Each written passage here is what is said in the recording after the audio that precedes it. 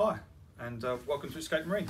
I'd like to show you today our new anchor trolley system um, for our packable inflatable boats.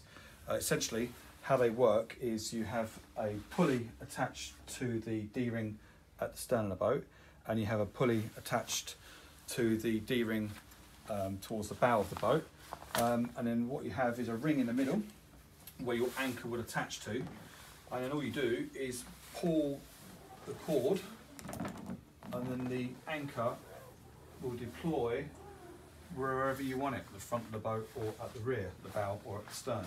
And in that way you can have it so you're not facing the waves, uh, broadside onto the waves when you're when you're sitting anchored. You can have it so the boat will face into the waves or the boat will face stern into the waves. Um, so yeah, that's basically how it works. You just put it forward or backwards and it saves you having to get up in the boat and having to attach it by hand on either of the D-rings. You can just attach it to, to, the, to the ring and it will put it forward or aft.